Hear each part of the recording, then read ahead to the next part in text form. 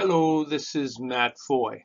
I will be the lead storyteller on this introduction to salmon habitat restoration in Skaushtamuk, the lower mainland of southern British Columbia.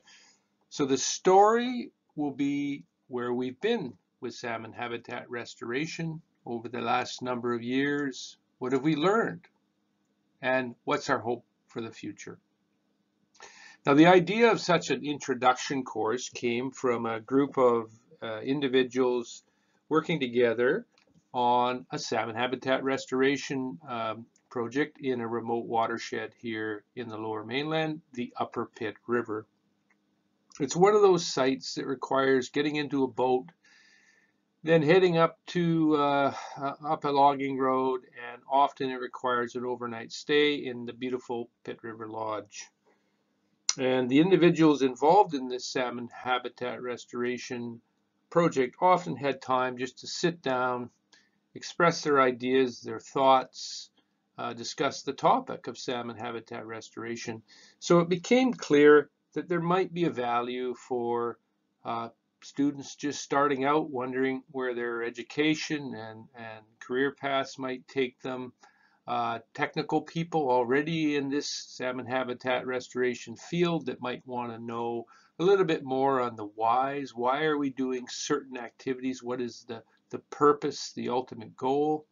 Or just average community members that want to know what is this salmon habitat restoration? What does it mean? And what does it mean to the salmon that I care about? So this group of individuals uh, collaborating on this project uh, all, all represented different uh, groups that were part of this work to help uh, salmon in this watershed. So the key groups were um, Lower Fraser Fisheries Alliance, Katzie First Nation, Fraser Valley Watersheds Coalition, the Pacific Salmon Foundation, and the World Wildlife Fund. All diverse groups but all coming together with a common purpose. And again, talking about salmon habitat restoration. So this is going to be a long and winding story. I hope you stick with it. I think there's lots of interesting little side stories and examples we'll be going through over a series of lessons. And where are we going to begin this story? Oh, in, in one of my favorite places in Staushkamut, the Upper Chilliwack River, if you look at the bottom right-hand uh, part of this slide, you'll see two little red sockeyes. That is roughly where this watershed is. So hopefully you enjoy this story and off we go. So before we get started on this long and winding story about introduction to salmon habitat restoration, I just want to lay out how we have organized uh, these discussions. We've broken it into four lessons. And each lesson revolves around a basket or a group of salmon that do somewhat similar things. So there's four groups of salmon we're going to talk about. So the first lesson will focus on a single species of salmon, Chinook salmon and we call it the team. And the reason we designate it a team is Chinook salmon is a very variable, uh, has a life history that's extremely variable. So in fact, certain Chinook salmon do things almost so much differently than other Chinook salmon, they could almost be viewed as separate species. So we're going to talk about some of this variability in our area, Skaushtamuk, the lower mainland of BC. And we'll use three examples in that discussion. In lesson two, we're going to talk about another group of fish, pink salmon, sockeye salmon, and chum salmon, but only certain forms of sockeye and chum that do things similar to pink salmon. And I'll explain that later in the lesson. And these fish spawn in the major parts of the river, the main flow, some of the bigger side channels. Uh, so we've given them a name, the clean stream team. Okay, stream spawning salmon. Third group, another group of uh, fish. In this case, we're focusing on, again, uh, chum salmon and sockeye salmon and a new one, coho salmon, but again, only certain forms. And these forms are all linked together on the type of habitat they seek out based on upwelling groundwater. And for that reason, we gave them the name Water from the Earth team. Third, fourth group and last group. Coho salmon, steelhead, and cutthroat, what are known as trout, but they're all in the genus Oncorhynchus. So for this lesson, we put them together as part of a salmon team. They're all the same genus. And they all do something similar in that this group lives in streams for one or two years, or in case of cutthroat trout, some forms live their whole life within the stream. And because of that, the habitat, salmon habitat restoration uh, activities that are focused on their group are, can be quite different than some of the other groups. Okay, so these are designated the backyard team. These are the fish that truly live in many people's backyard. So I hope you enjoy uh, these lessons. I hope you're patient and get a chance to listen to them all. They're meant to make people think, make to have deep discussions about some of the ideas and thoughts brought up in these lessons, and ultimately perhaps to make plans how you may play a role in supporting salmon habitat restoration, or in fact perhaps directly undertake salmon habitat restoration in your home streams. So I hope you enjoy the presentation and as I said, it's a long and winding story. I guess we'll talk more at the end. So lesson one has been broken up into a series of modules that discuss certain subjects. Module one will talk about the historical context of how salmon habitat has been affected by land use activities and makes an argument why salmon habitat restoration is a useful tool in supporting populations uh, impacted by this development. Module two discusses a recommended reference document on the techniques of salmon habitat restoration. Module 3 uh, discusses uh, and defines these various techniques found within this, this document that may be appropriate to certain species in certain watersheds, using Chinook salmon as an example. And there is an emphasis on thoughtful research and discussion on factors thought to limit these Chinook salmon populations. Module 4 contrasts two Chinook salmon populations, the Upper Pitt and Harrison Rivers, just to illustrate how each has different issues limiting their population, which then dictate what restoration techniques might be effectively applied. So in module five, we just carry on with this uh, description of the Upper Pitt and Harrison Rivers, this comparison, and with a final summary how certain restoration activities will likely have different outcomes between these two, uh, two uh, Chinook populations here in the lower mainland. In module six, we'll have one last example of a habitat restoration and population recovery program delivered for a threatened population of Chinook salmon in Maria Slough. And finally, on, on the uh, last two slides of this presentation will be all the references of various links that have been placed in the presentation. They'll all be listed in the last two slides. And for the YouTube uh, example of this presentation, Hopefully we'll be able to put this, this reference slide in the description of the YouTube video so all those links you can get and read up on these various papers and, and articles and videos related to the presentation.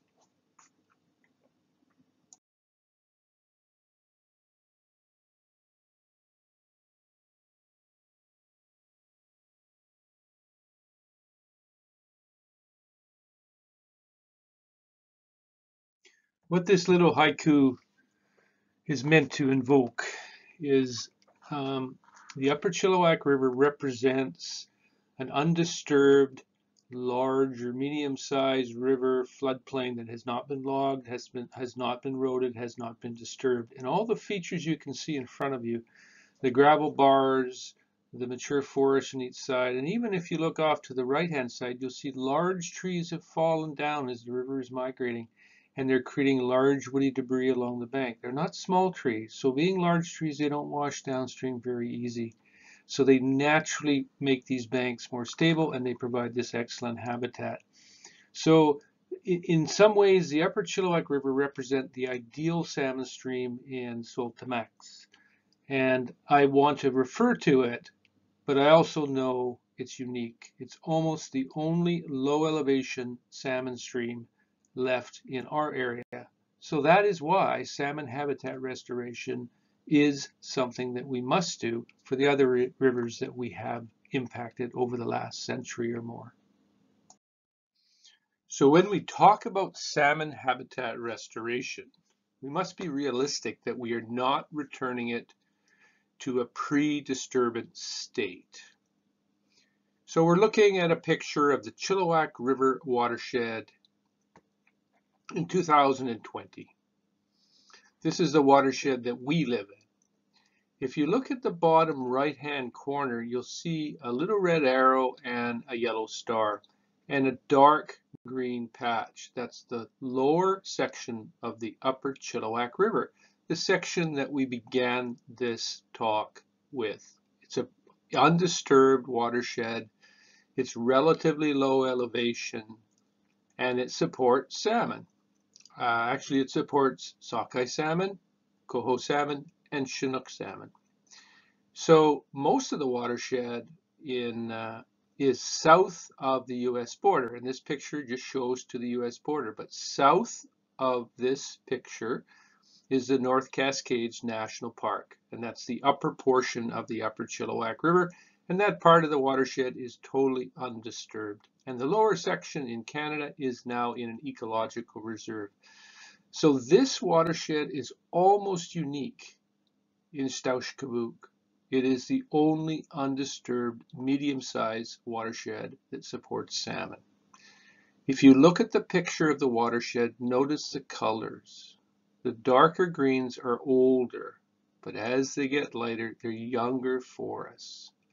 So what you can see just from this visual image is almost the entire watershed is young forest, either from logging or largely from human caused fires. So this is the watershed, the salmon that we know exist in today. It's not the watershed represented by the upper Chilliwack River from 150 years ago. So again, when we talk about salmon habitat restoration, we cannot turn it to a pre-disturbance state. Only long time periods can do that. So what can we do?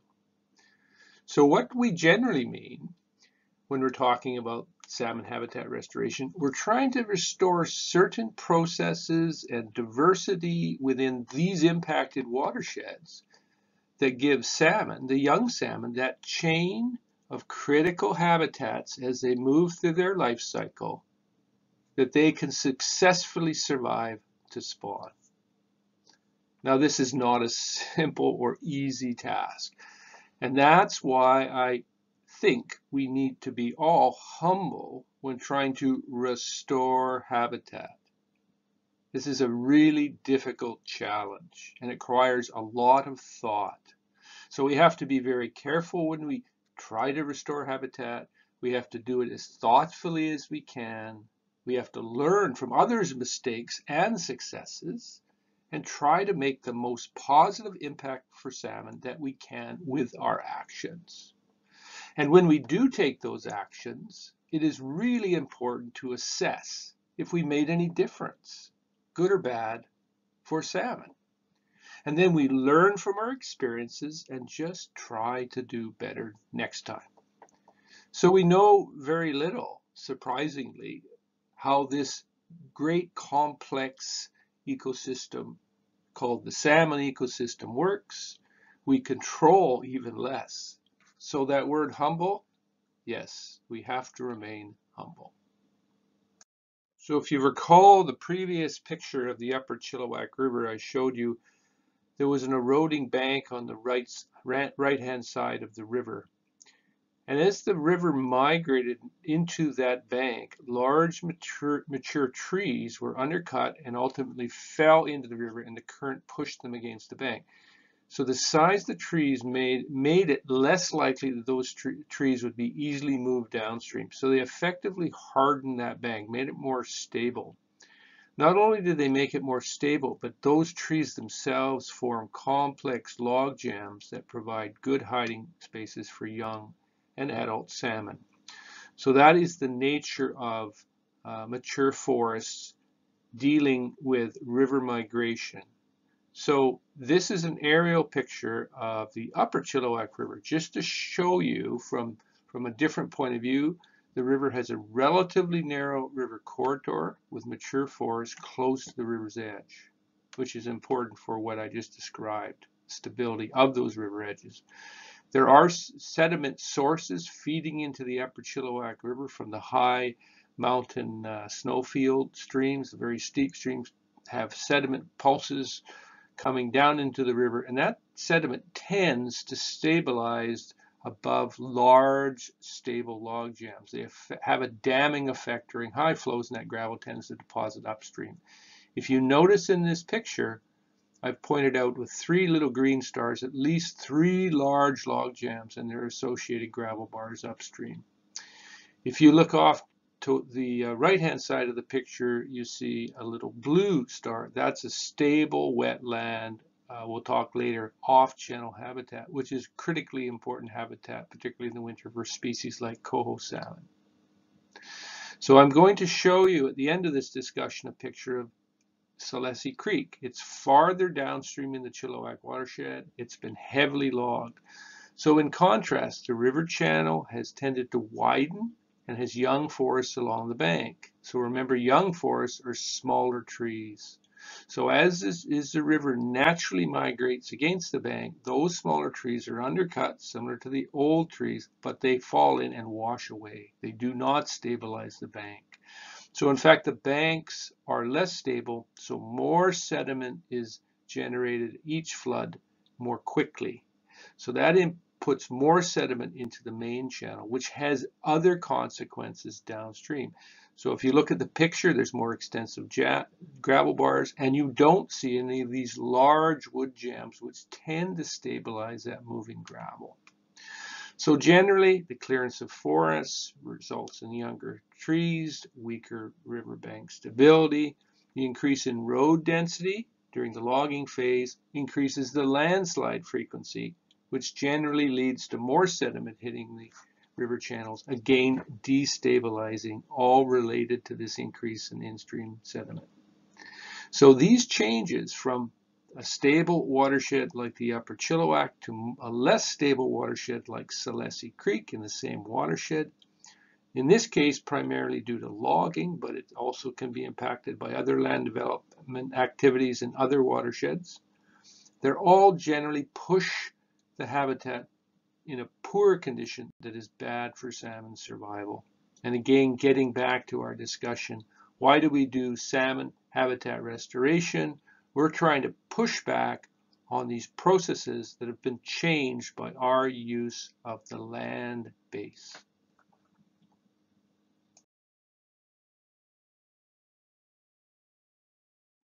So what do we mean when we say we are trying to restore processes and structural diversity in the impacted watersheds that give the salmon the chain of critical habitats they need to successfully fulfill their life cycle.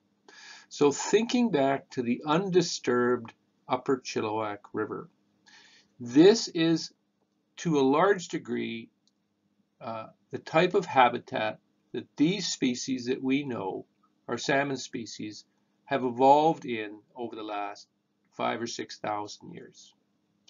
So what did we see? We saw relatively narrow uh, stream corridors, Uh, large wood, when the river comes against it, makes these hardened banks that are complex, lots of places to hide. When those trees do wash downstream, they're so large they jam and form large log jams that are don't move that easily. Again, a place of refuge during floods. Within the floodplains, you see various wetlands that provide refuge habitats for small fish to go in maybe in the summer, in the spring, in the winter, in the fall.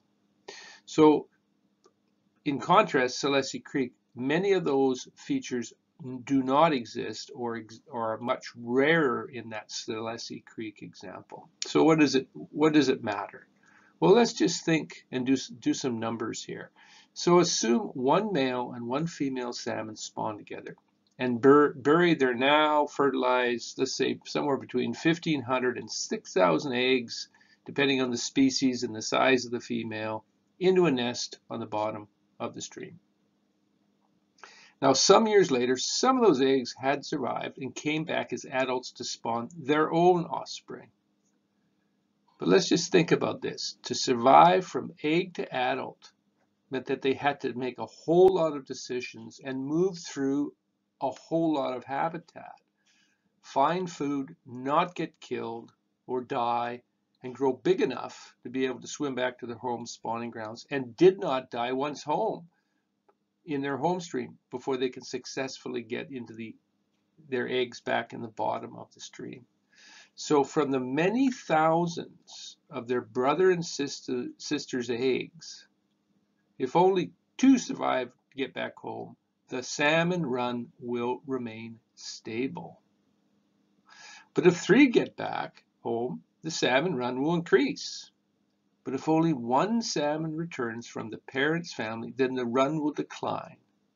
And if this keeps up, the run will disappear and be no more. So when you think about the odds of survival, when 3,000 of your brothers and sisters can die many different deaths, physical trauma, predation, disease, starvation, and us, often us, and you and your cousin are the only survivor to keep the run going. So in my world, miracles truly happen, and salmon the salmon we see spawning in our streams are truly a miracle. So when we say we are trying to restore processes and structural diversity, we're simply talking about trying to take actions to ensure that there are enough safe places for these eggs and little fish to survive and grow and thrive so we won't lose our precious salmon runs. Simple in theory, but very hard in practice.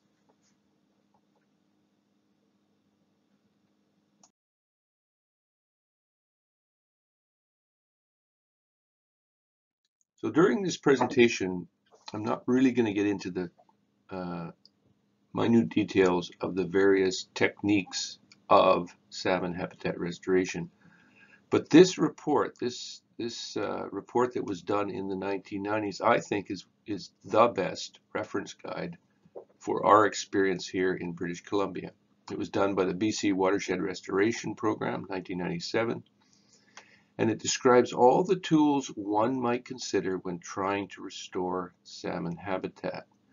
Now, each of these tools have their limits, and the outcome, whether they're successful or not, largely relates to how well you apply these specific tools to a very specific problem that you understand well. So a bit like the old construction saying, measure twice, cut once. My suggestion about salmon habitat restoration is think twice, then again, then again, then act once and then go see what happened. Was it a successful effort or a failure? And if it was a failure, you learn. If it was success, you learn, you adjust, and your next, next effort, hopefully, will be more successful.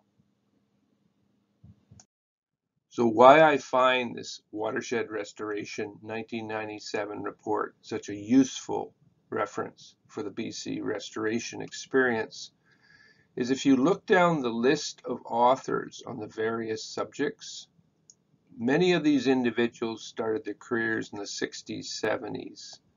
And during that era, salmon habitat restoration was a brand new field. It just was not being done in BC. So these folks work through the challenges and develop techniques in real world experience. And from that real world experience, they've passed on this knowledge in these various chapters. Now, these folks, we owe a debt of gratitude for the skills they brought to the task, the creativity, and now they've passed that on to us looking around to the area of Stausch-Kamut, the teams that have formed over the last number of years have built their skills on the backs of these authors, these authors' experiences. And the new teams are trying creative things and learning and, and experimenting. So again, this is uh, an interesting business. We don't have all the answers. It's going to require a lot of thinking, a lot of discussion, and hopefully some action and learning to help our friends, the salmon, because we are, in fact, the salmon people, the Stausch-Kamut.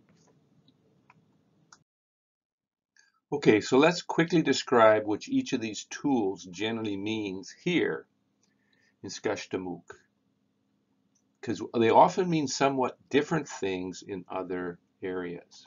So this is a discussion about here. Remember, salmon habitat restoration is often a very personal activity, quite specific to time and place, where it is really important to know what your particular area requires for tools and how each tool can act here and not over there somewhere. So quickly, restoring fish access, if we go down this table of contents, often often refers in our area is uh, fixing fish passes past culverts. We live in a very urbanized area which include roads and roads have to pass streams under them and that usually is a bridge or it, often in the smaller streams culverts. And these culverts can be a problem for upstream migrating salmon adults and juveniles. So there's a whole bunch of activities in our area trying to make these old culverts that weren't particularly sensitive to fish become fish friendly Add to that hydroelectric dams that were built early in the 20th century, many without fish passage, and they're operated not considering salmon downstream. So this is the idea of uh, restoring fish access in and around hydro dams.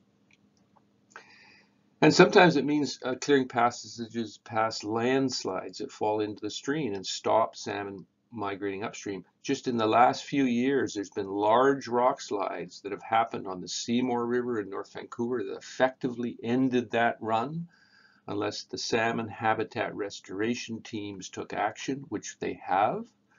And even more recently on the Fraser River up at Big Bar, where a perfectly natural landslide, a major landslide, blocked off the Fraser River created a many meter high waterfall and it was the end of the upper Fraser salmon run unless we took action and we have and that's part of the story. So that's fish access. If you also read in that section, it talks about improving spawning gravels in certain areas of the stream for spawning salmon. Now salmon have a particular size of gravel that they use for spawning. It can't be too big and it can't be too small and various things we've done to rivers have either degraded the gravel and making it more coarse and unusable, that often happens below hydroelectric dams, or made it finer because the uh, we've logged the stream, stream watershed, stream banks are unraveling, so there's lots more sands and silts, and the gravel quality declines. What can we do to give salmon what they need for spawning? So the other point, as we work our way down the table of contents is off channel. And I have given a number of courses on just this subject. So if you visualize a river, the main river that you are, are looking at off to the side in the floodplain is often littler channels that come off the river called side channels. Often there's a log jam at their head end, or sometimes they're back sloughs of river that's not connected at the upper end but at the lower end. They are connected during flood, but not at other times.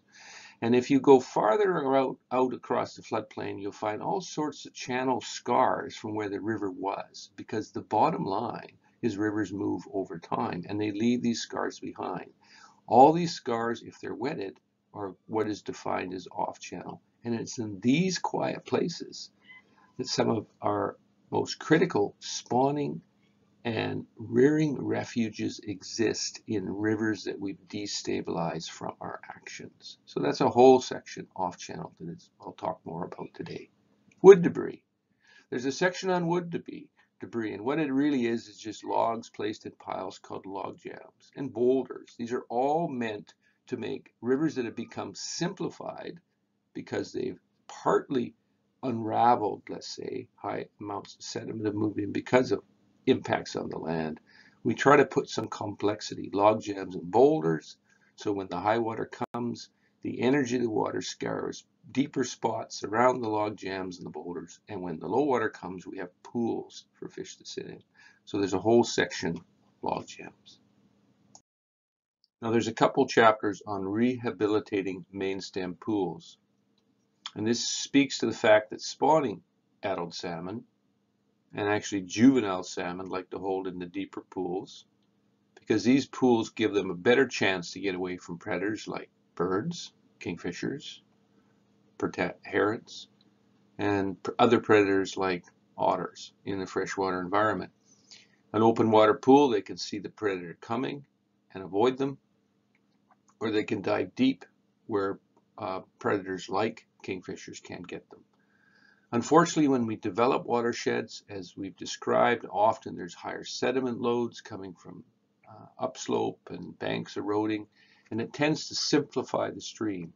Also, the size of the wood has declined, the size of the logs, so it's not as stable, and it tends to be more mobile. So that description I, I showed of the upper Chilliwack River where the large logs, trees had been undercut by erosion as the river did migrate, they had fallen over, but they hadn't moved very far, and they create a hardened bank. So in a flood, they took the energy out of the flood and it resisted, it slowed the erosion of the bank, but also that en energy was focused downward and it scoured a deep channel, deep pool beside that large wood. So at low water, you had a deep pool with this complex wood debris. That doesn't exist in many of our developed streams. What these sub these uh, these two chapters talk about is what can you do in these impacted streams to recreate these deeper pools for the salmon that are looking for them. Now I'm just going to refer to another really excellent report on the subject called Stream Analysis and Fish Habitat Design by Bob Newbury and Marc Gaboury.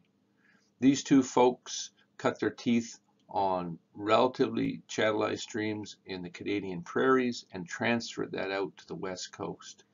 Both are excellent uh, uh, advocates for working with these techniques with a wealth of knowledge, and I highly recommend have a look at that at that book.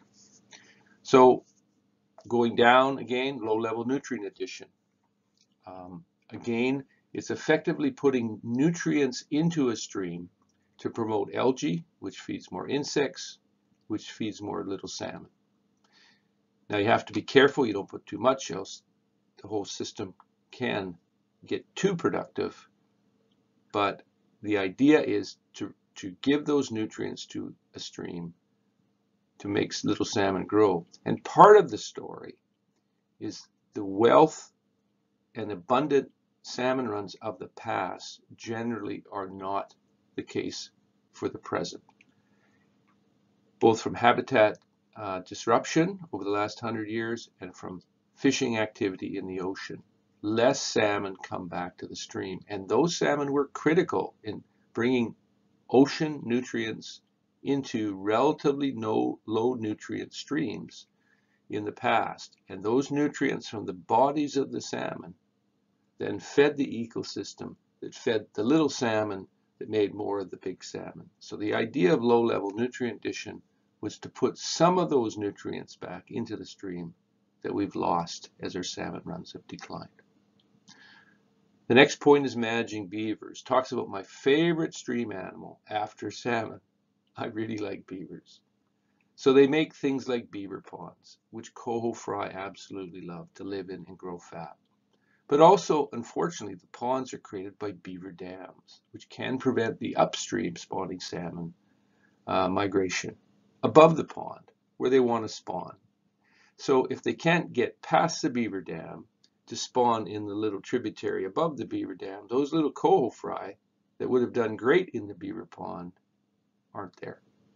So this whole chapter talks about how can we have beavers existing in the same areas as, as young salmon, principally coho salmon, cutthroat trout, and some steelhead trout.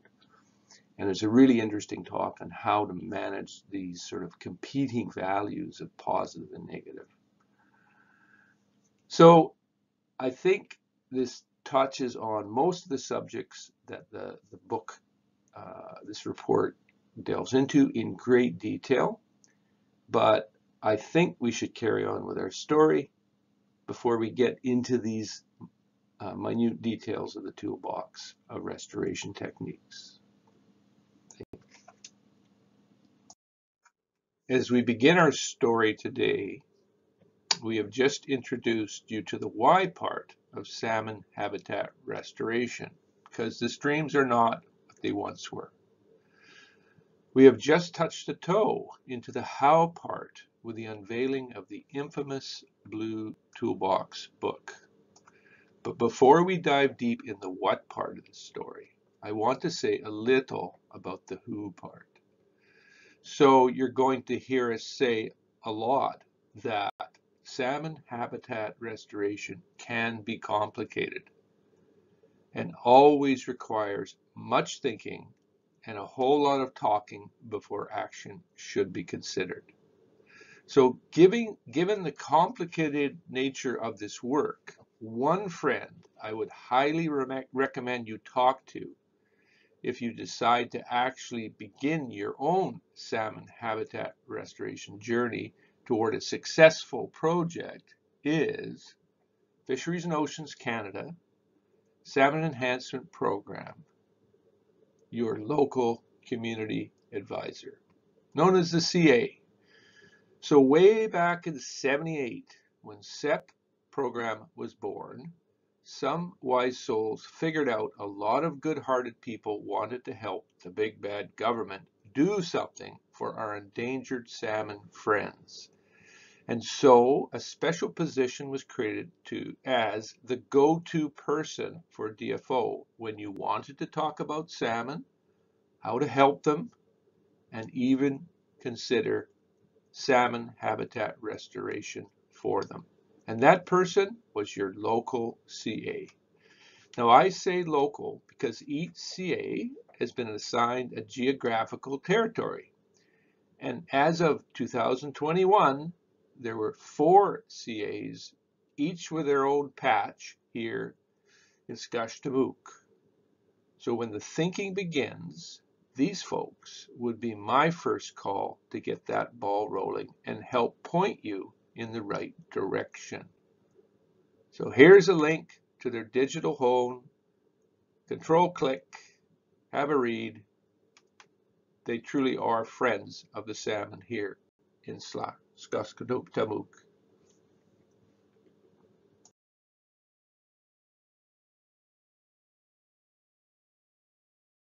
So let's talk about salmon habitat restoration. So this is the thinking part of doing this work. And it's simple in theory, but it is hard in practice. So why is it hard? So let's let's think about this. So what salmon are we talking about? There are five different species of salmon here in British Columbia. Chinook, chum, sockeye, coho, pink. And they exist in the streams in Skashtamuk here. These are our fish. And six, salmon, if you think steelhead should become called a salmon, not a trout. And which one of these do you want to ha restore habitat for? Because they all have different habitat needs. So they all belong to the same species, genus. They're just different species. Oncorhynchus is their genus. So steelhead are no more different than pink salmon, as is the Chinook salmon. For that matter, how about cutthroat trout? They are all called Oncorhynchus. So that's seven now. Different salmon species, different needs, different requirements. It's complicated. So if each species are quite different in their critical habitat needs, how do you restore habitat to help each of them? It's not simple. So let's talk a little bit about the various salmon species and how they use their freshwater estuary habitats, which are the areas we have some chance of applying restoration techniques on. So out of this gang of seven, let's start with one of my favorites, Chinook salmon. And let's call all the forms of Chinook. So I want to say that every population of Chinook does things somewhat differently in their freshwater environment. Chinook are amazingly adaptive and variable in terms of their life history. Each population has slightly different ways of using habitat. So we'll just call it the Tyee team to be simple. All those variations of Chinook, the Tyee team. So what's Tyee? It's an ancient name for this chief of salmon. So the team. Now, just working with this one species of salmon will give us a sense of some of the complicated thinking one must do when planning for salmon habitat restoration. Okay, so let's dive in and swim a little bit with these beautiful fish. So the team, Chinook salmon, Oncorhynchus tshawytscha, has a number of names here in northwest North America. King salmon of northern Washington Strait, the Tyee salmon of Campbell River, blackmouth, Puget Sound, or Quinnat salmon of northern California. So Chinook, this species, spawn in just a very few streams in Skaushtamuk, but they also spawn in many of the streams throughout the mid and upper Fraser River watershed. And their natural distribution in the world, well, they can be found spawning as far south as the Sacramento River in California, up through Oregon, Washington, BC, Alaska, across the Bering Strait, down the Asian coast, along the large Kamchatka Peninsula of northern Russia, and as far south as Hokkaido Island of northern Japan. So it gets around to some pretty faraway places. Now our local Chinook tend to be three to five years old, but some Chinook are the oldest species of salmon in the world, up to seven years old. And these older ones tend to spawn in the far north colder streams or the interior streams. Now they're known for their size. They're the largest bodied Pacific salmon in the world. Now here in Skaushtamuk, the largest Chinook salmon probably returned to the Harrison River. 30, 40, and even 50 pound salmon would not be unheard of in that river. But in three rivers in North America, they get much bigger. One is the Kenai River of Alaska, the Kalum River of the lower Skeena River near the community of Terrace, and the Wannock River in the central coast of BC near the community of Owikeno. In these rivers, fish above 80 pounds would not be rare. So how big can they get? Well, here's a picture of a small one on the Kalum River. Of all the hundreds of salmon streams in Skaushtamuk, only a very few streams have naturally occurring populations of Chinook salmon spawning in them. There are a number of streams where Chinook salmon have been, uh, eggs have been collected from one stream, put into a hatchery, and then transplanted into them. But the reality is only a few streams have natural populations. They've always been there. They're unique and adapted to those streams. So in our area, there's eight of them. The Harrison River, the Lillooet River, the Birkenhead River, Big Silver Creek, which is a tributary of Harrison Lake, the Chilliwack River, Maria Slough up by Agassiz, the Upper Pitt River at the head of Pitt Lake, and the Little Campbell River in South Surrey. So all these populations are, are native and unique to these eight watersheds. So the question is, if you want to restore habitat to benefit Chinook salmon, you have to work in these eight streams and ignore the rest? No, not exactly.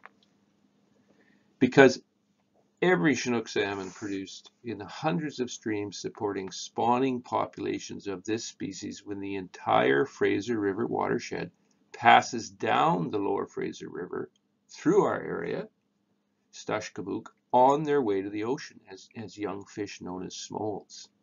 And some of these then spend quite some time on this journey, feeding along the way, and where the freshwater meets saltwater in the Great Fraser Estuary. So if our goal was to help restore Chinook salmon habitat in this area, to make more young Chinook salmon to survive to adults, so some of them could feed other things like us, and maybe those endangered southern resident killer whales we hear a lot about, then you do have a number of restoration targets and strategies to consider. Either our local populations in these very specific eight streams, or along the Fraser corridor, where these hundreds of populations of Chinook salmon from the upper Fraser are migrating and are feeding and would benefit from habitat restoration to make their lives a little better. So here are some more things to consider when you are developing your restoration plan for these Chinook salmon. So as we've discussed, in every river that Chinook spawn in and rear for a time, each population does things a little different. Just like people, all Chinook groups act differently, do things a little differently and you get you need to get to know Maria Slough Chinook or Upper Pitt River Chinook or Harrison River Chinook or Thompson River Chinook or Chaco River Chinook as best you can before you ask the question, what can I do to help them do better in the world they find themselves in today? So the message I want to leave with you is that habitat restoration for salmon is very, very personal, specific to the species, what the population you're involved with, the place you're doing it, and you and the salmon you wish to help need to become close friends and understand each other before you can really help them. And what this means is you have to ask a lot of questions of people that live on these streams, that perhaps fish these populations, that watch these populations. You have to read what is written in the literature. You potentially can go out and do assessments before you take action of the habitats that you're thinking to restore. And while you're there, you're just watching. You're watching how the ecosystem in that river works, how the, the target population reacts in that ecosystem, and then with all this, it's about quietly thinking, really thinking, and asking yourself, what can a human do to make their chance of survival better? And if you come up with an answer that you, you believe in, then take action if you dare. And if you take action, you need to assess what the impact of those actions were. So I put up this story because it's been in the news quite a bit. And it's, it's relating to a new study, but an old story. But asks the question, if we can change this, will this bring them back? And what it refers to is, as we know in our area, S'Kashticook, there's been great impacts as we develop the landscape on salmon habitat, and they suggest that 85% of the salmon habitat has been lost. So if we could bring back uh, that amount of habitat by removing these barriers. They say a thousand barriers, would it bring them back? So first of all, what, what is it? What, what is our tool? What does the toolbox say on the techniques that might be applied? So I'm suggesting if you go to chapter 5.5, restoring fish access, you will get an idea what they're talking about. And in the lower Fraser, we're talking about culverts and flood pump structures and dikes, things like that. All challenging, uh, challenging places to overcome if you're a salmon. How do you get by these large flood structures? So the question then from this headline, I think we need to ask, would, would our, our local S'tajqumuk Chinook salmon from those eight streams, would they be expected to benefit from such a program envisioned by this headline? So if we're talking Chinook, and I would argue it would depend on what population and what action was taken if a benefit was to be realized. As you see, the message is, it depends. So some would say, let's fix that and they'll come back. And I don't think there's a slam dunk here. Or maybe there is. But this is where we have to think. So I'm going to use two examples and we'll talk to them in detail. Let's get down to specifics. Let's get down to personal with two Chinook populations speaking to this headline. So if I'm, my first guess is one of our key populations here in S'tajqumuk is the Upper Pitt River Chinook salmon. Would they benefit if we remove those 1,000 barriers? Nope, I don't think so. Not much. But in contrast, the Harrison River Chinook salmon, absolutely, maybe spectacularly. And the question is why? They're all Chinook, aren't they? And this is the thinking part. So let's go exploring and follow these two stories and see if I can convince you that what I have just said might be true.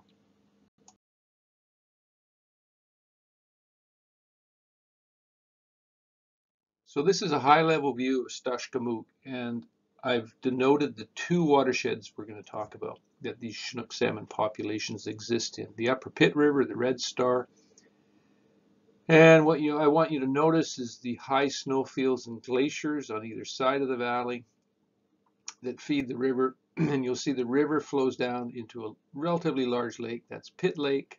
And then Pitt Lake flows from the lower Pitt River into the Fraser River, relatively short river. It's tidal. The entire lake is tidal, goes up and down about a meter, which makes it quite unique in this area and even the world.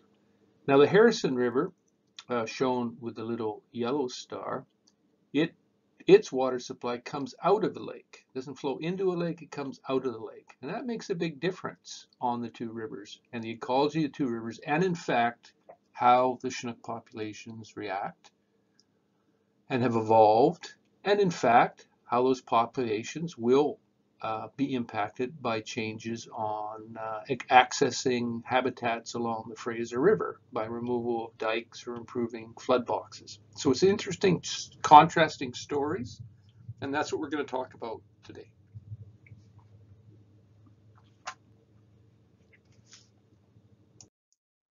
So this is a high overview of the Upper Pitt River uh, floodplain. A lot of it looks similar to this. So the white features are large gravel bars, and you can see that the main channel meanders through these gravel bars that has multiple side channels. So the stream bed is highly unstable because of the large amount of gravels coming from those snow fields and, and glacier valleys that I showed in the previous slide. And when we get these big winter floods, that gravel moves the channel shifts and the river moves from valley wall to valley wall. The gravel bars never get a chance to vegetate, grow forests. They're always moving and unstable. So what it means is the gravel in the Upper Pitt River in the main channel is just too unstable for Chinook salmon to lay their eggs and have any chance of them surviving over the winter. They will almost certainly be washed downstream and die to, during the many winter floods. So what does that mean in the Upper Pitt River? That Chinook salmon really only spawn in either stable tributaries, that's small streams that come off of the mountains that are more stable. They might have some lakes in their system to stabilize the water flow, or potentially in some of the side channels of the river that are tucked off to the side, perhaps stabilized by a large, large log jam at their head, but something that gives them a greater chance of not being scoured out during the winter floods. So we have a very large river but the Chinook can spawn in only very small, unique areas. So one of these unique areas that Chinook salmon spawn in, in the Upper Pitt River, is called Blue Creek, relatively small stream, coming from the eastern side of the river. And it is a major Chinook spawning area, the lower section of Blue Creek and it lies about 30 kilometers upstream from Pitt Lake. So what makes the upper Pitt Chinook pretty special and Blue Creek particularly interesting at this is that this population is deemed to be a single conservation unit. And in that conservation unit, Blue Creek probably has up to 50% of that conservation unit spawning in it each year. So what is this conservation unit? What does that mean? So Canada, a number of years ago, developed something called the Wild Salmon Policy, which defines what a conservation unit is.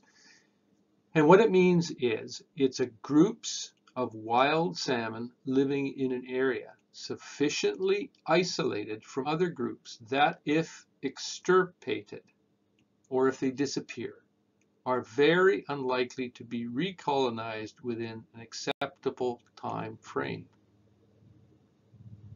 So if you want to read more about what the wild salmon policy is, I've provided a link where you can read it in its entirety. It's really interesting and its goal is to conserve the biodiversity of salmon in Canada. It tells us that we have to conserve certain units because once they're lost, they cannot be replaced. They're unique. Unique enough that if you lose them, you can't just replace them by the neighbor salmon population. That's the idea of a conservation unit. So it means the upper Pitt River Chinook are quite unlike any nearby Chinook populations act differently and do things differently so that they can survive in the upper Pitt River watershed. If you brought other Chinook in, they would survive poorly or may in fact not survive at all because the upper Pitt is so unique. So these unique traits and behaviors have likely developed over thousands of years. So again, if we lose this population, we will not see Chinook come from other watersheds. So since we, people, are the greatest negative pressure on these unique salmon, it is our moral duty to do what we can to keep them healthy and abundant for future generations to enjoy. And what that means doing what we can to keep Blue Creek a safe place for spawning Chinook salmon. And I'm going to tell you more about that story. So once again, this is a high level view of Blue Creek. And if you look on the left, this is the Upper Pitt River main stem. It looks very similar to the previous picture I showed of it the main stem is braided, lots of gravel bars. The channel moves around every flood. Nothing is stable in this corridor. But Little Blue Creek, which I've shown with this little blue line, you can barely pick out the creek because it doesn't have these extensive gravel bars. It is very stable as it moves through the floodplain. And if you look at the little red lines, that indicates the lower end where Chinook spawn to and the upper end. There's only 800 meters of this small creek that supports 50% of the spawning Chinook, or more, in some years, of the upper Pitt River. It is critical habitat. It's critical habitat to protect and if we can restore some of its functionality. So that's what we have done. So in 2019, the Upper Pitt River was migrating toward and threatened to take the lower 25%, 200 meters off of this 800 meter section.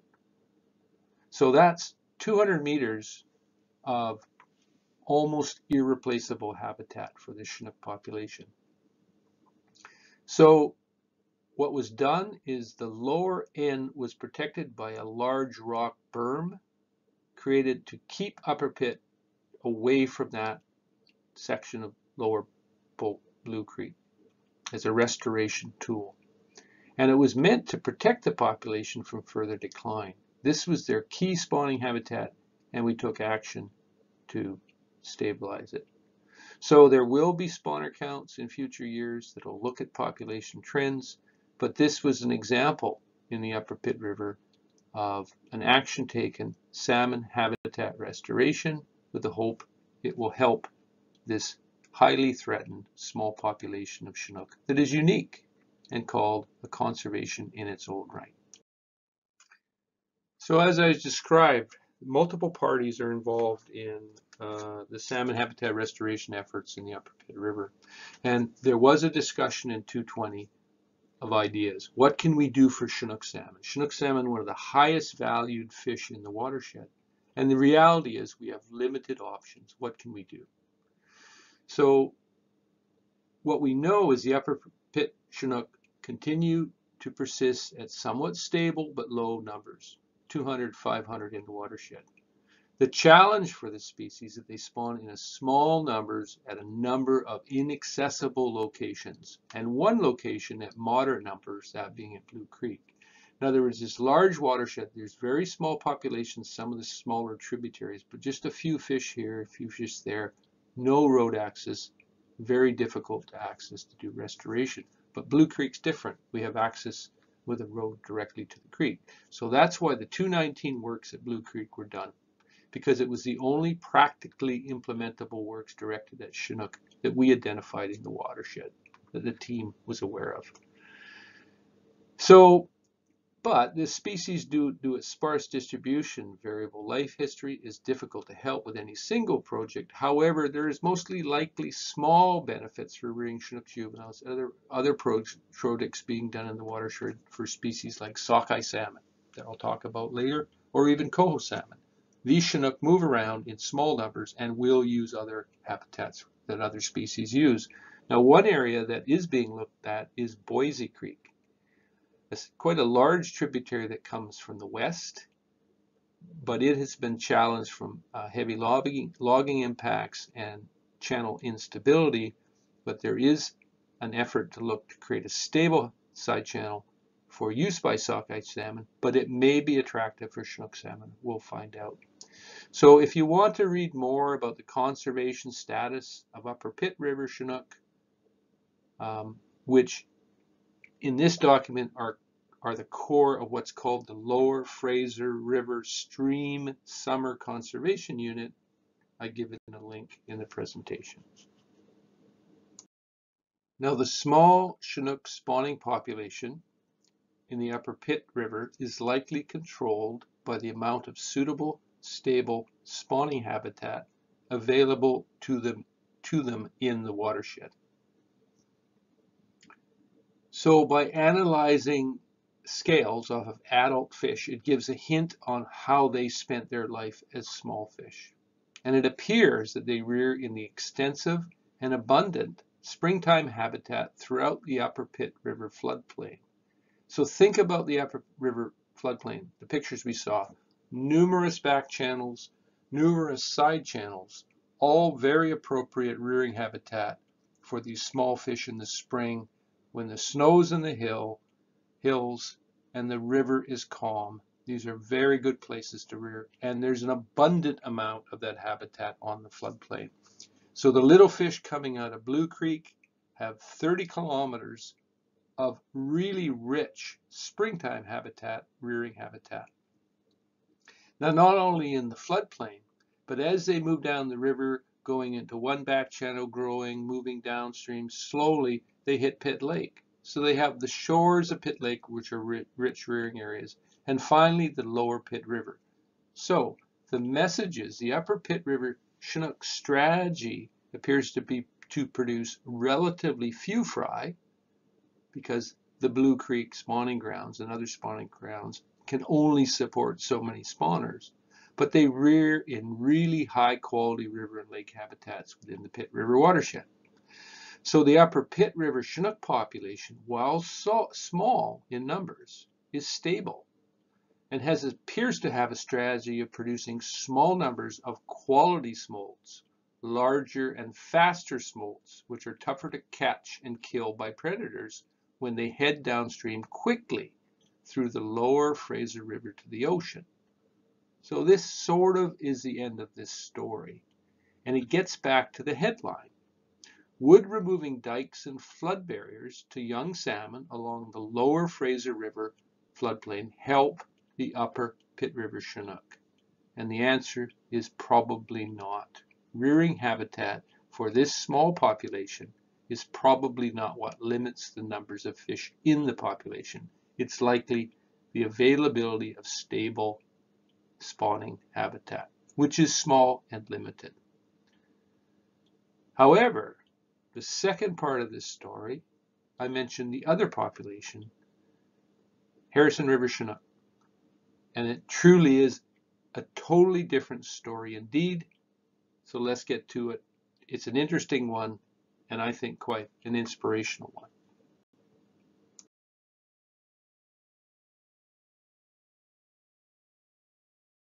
So we begin the story of the Harrison River Chinook population, which, similar to the upper Pitt, is its own conservation unit.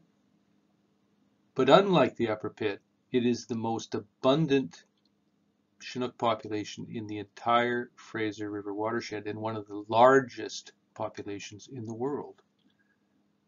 So the numbers of spawner, spawners returning each year ranges from 100 to 200,000 or more each season. Now all these Chinook spawn in a 4,000 meter long section of the Harrison River just downstream from Harrison Lake. If you look at the slide, roughly between the two red lines. That four kilometer reach supports these huge numbers of Chinook salmon each year. So it's a heck of a lot of Chinook and by far one of the biggest Chinook runs in the world. So this is the interesting part of the discussion. Why? Why there? Okay, so let's look at why so many Chinook spawn there and it begins with the very large Harrison Lake, which means that the water flowing out of the lake is always really clean, even during the worst floods of fall. It's a huge lake with many, many tributaries that in a heavy fall rain and flood carry a lot of silt and sand, but that silt and sand is deposited in this huge lake, which settles out, and at, when the flows leave the lake, they're virtually always clean. So what does that mean? That incubating salmon eggs downstream from Harrison Lake will thrive with this clean water. With That doesn't have a lot of silt and dirt that would plug up the gravel and cutting off the flow of oxygen to these eggs. It creates a really high quality incubation environment for eggs. And the Harrison River water is really clean. So the nearby Chehalis River on this slide the blue arrows denote the flow of the Harrison River, but the red arrows denote the Chehalis River, various river mouths over time as this river is moved back and forth across its floodplain. Now the, the Chehalis River, this comes out of the mountain, mountainous area, carries a lot of gravel. So over time, it has effectively deposited gravel all along this four kilometer reach. Really good spawning gravel. But once it's in the Harrison River, it doesn't move. It effectively stays in place. It isn't scoured out in floods because Harrison Lake moderates those floods like a big battery. It stores the flood water and releases it slowly. So the gravels that are deposited over time by the Chehalis over centuries, the only thing that really moves it downstream is spawning salmon. not necessary flooding. So this is important. If you're a salmon egg and you're deposited in clean gravel that doesn't move, that has clean water flowing over, you get very high survival to, to fry emergence. So another point to consider, the Harrison River Chinook spawning section, the section of the river they use is 4,000 meters long approximately. And this is a big river, averaging probably 300 meters wide or wider in some places. And if you do the math, that gives you 1,200,000 square meters of clean, stable, perfect spawning gravel. So thinking about this, a large Chinook nest or redd would require about five square meters of spawning gravel in area. So if you do the math again, that 1.2 million square meters would support about 240,000 redds, Chinook salmon redds. So one male, one female, 480,000 spawners. Now remember I said there's one to 200,000, suggesting there is more gravel today than spawners to use it. It's a huge area of gravel. Although it's a huge run, they still have not hit the limit of their spawning capacity of that reach. So what we know from our studies that those spawners produce in many years around 30 million or so Chinook fry. These are the little guys that come out of the gravel.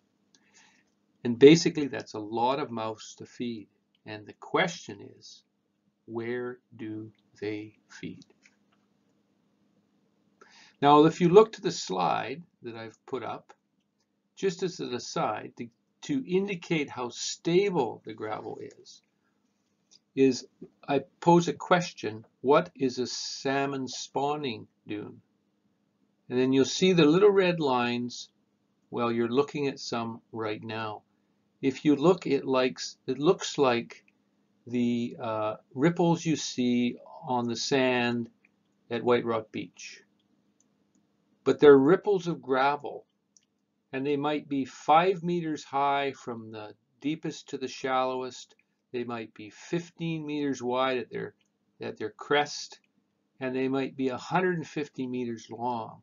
There's a series of ridges of gravel and they're not formed by flowing water. They're formed by generation after generation of salmon spawning and lining up beside each other and over time they create these large dunes.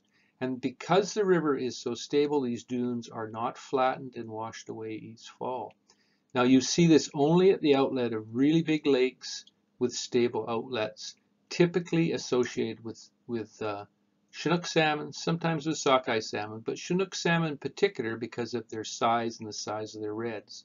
Harrison River has beautiful dune formations that are have been created by generations of salmon over hundreds or thousands of years and it's a thing of beauty which makes the Harrison such a special place in our area.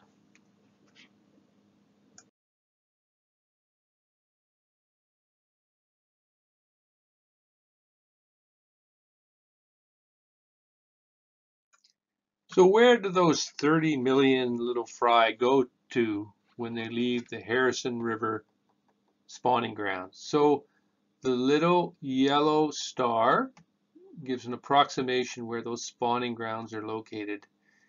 And the, and the green arrows just give a sense of where the Chinook fry are migrating to. There's about 150 kilometers or more of uh, main stem habitat, side channel habitat, tributary habitat that these Chinook fry will uh, move down and then look for rearing habitats. They're looking for the slow edges, the slow back sloughs, the bottom ends of tributaries, and they'll poke their noses anywhere that they can get into, usually to the head of tide. Wherever the tide goes, that's where you'll find Chinook fry from the Harrison River in the spring. So they rear in these habitats, you know, up to eight weeks and somewhere around early May as the temperatures rise, temperatures getting a little warm for their liking, They get to about 70 millimeters. They've grown from 40 millimeters to 70 millimeters, and they're preparing their, for their life in the ocean and begin their migration down to the Strait of Georgia around that time. So how can we help them? Well, we can look at all those various areas and look for barriers that might be improved so they can get past them into habitats they want to use, or perhaps habitats that uh, can be enhanced for their use or made better, possibly ones that have been impacted from past land development. We can do some techniques that'll just make them friendlier for little Harrison River Chinook fry for the eight week rearing period. So let's go on and talk a little bit about these examples on the Stave River, the Salmon River, and on the Coquitlam River. So we know from our scientific studies of the Lower Fraser that these Harrison River Chinook fry often seek out the smallest channels, often that are affected by daily tides. And these tides can reach as far upstream as the Mission Bridge and the Fraser, or even slightly higher. And these little fish are most happy in little habitats where big fish won't go and eat them. So with this in mind, if more early spring habitat, that's that February to May period, was available in the Lower Fraser River floodplain, then it's likely that more Chinook would return to use all that wonderful gravel beds in the Harrison River. Simple. When you look at the numbers, it is likely the rearing habitat in this case, unlike the upper Pitt example, that is limiting the size of the Harrison River Chinook population. So if you remember the headline, that started this conversation uh, that described overcoming the thousand barriers that deny salmon access to their historic habitat. The vast majority of these barriers occur along the tributaries of the lower Fraser River and are largely related to flood control infrastructure. The places that these flood structures protect are places that Harrison River Chinook once lived a century ago. So this is one of the examples of salmon habitat restoration done on the lower Fraser directed at these Harrison River fry. It's on the lower section of the Stave River. And it's within the tidal range. The tidal range is about a meter and a half in this spot between high and low tide.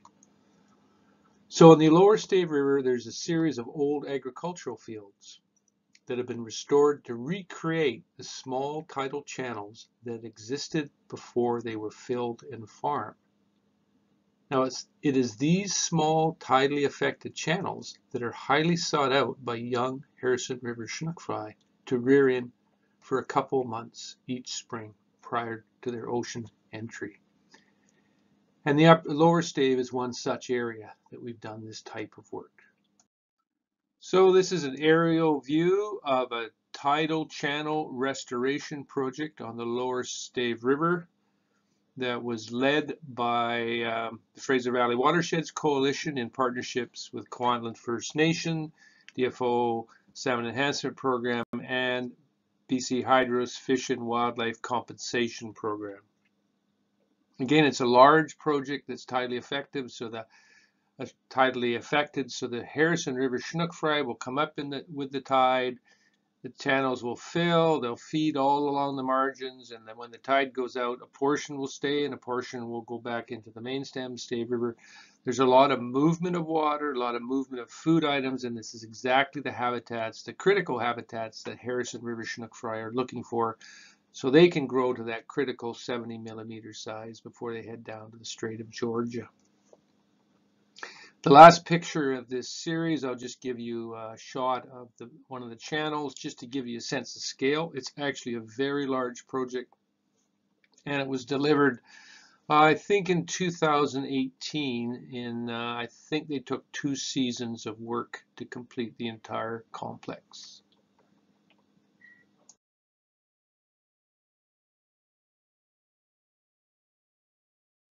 So this is a sort of a construction action shot of how these tidal channels are built. Uh, this is a channel very similar in form to what we were looking at on the lower Stave River, but this one is on the lower Coquitlam River in an area we call the sheep paddocks. The lands that this channel was built on are now part of the Metro Vancouver Colony Farm Parks, and these fields are no longer going to be used for agriculture, so they're being reclaimed for fish and wildlife. Just a few features to notice. The channel meanders, has a natural meander pattern. It has both steep banks and then closer to the water's edge you'll see a, a much shallower bank and then another steep bank, and then the materials in the background where the machine are being shaped into a mound. What this allows is a very diverse area for planting different groups of plants. So the lowest areas might be sedges and other wetland, tidal wetland type plants. Then a little higher, some shrubs where they're just above where they're planting now. And then the highest points might be trees that don't want to be wet at every high tide. So again, the attempt is to make it good for fish, but also make it good for all sorts of different types of wildlife. This is pretty common in these uh, tidal channel areas. These They're very high use by multiple species of fish and wildlife, so we do everything we can to make it the most diverse habitat possible. So this is just another picture of the project we just looked at during construction. A season or two uh, has passed. And if you know, uh, living in Skouchetemouk, it rains here and it's mild, so you give a plant half a chance, it grows pretty quickly here. So within a season or two, the, the, um, the disturbed areas are fully revegetated. And that's actually why you should get your, your shrubs and your trees in because the grasses, things like reed canary grass will, will recover very, very quickly. So you want to push a few more uh, plants in there to maximize diversity as quickly as you can. And of course, all this vegetation generates uh, insects, and all those insects feed these little fish that we're trying to help.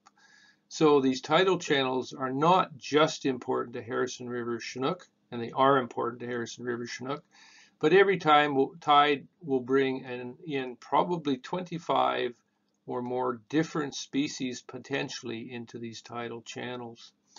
Uh, some of the more common ones are stickleback, both resident and migratory forms, but also uh, high value species like coho salmon would often spend the winter in these tidal channels.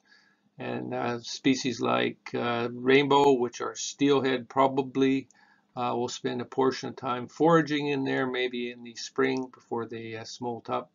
And cutthroat trout may spend uh, a portion of their year in these channels feeding on the rich um, insect life. Uh, and some of them may be large, almost adult size, and some may be just pre-smolts. So a real diversity in these tidal channels. When you do uh, sampling, you, you look for your target fish, Harrison River Chinook, but you find a wealth of others, which makes it really encouraging when you do this types of work in the lower Fraser tidal range.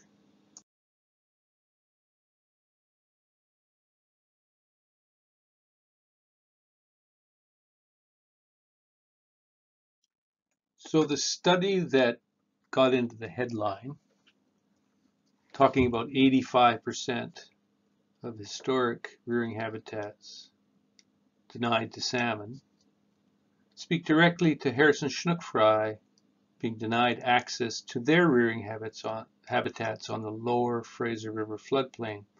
So most of these lost areas are protected from flooding by the Fraser River by extensive dike systems and pump stations and culverts.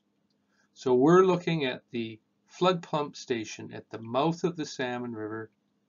On the right is the Fraser River. On the other side of the station is the Salmon River. The Salmon River has to flow through gates under this structure. And when the river's in flood, when the Fraser River's in flood, they actually pump the Salmon River over. At that point, the little fish has no chance of getting into the Salmon River. So we'll be talking about these types of structures.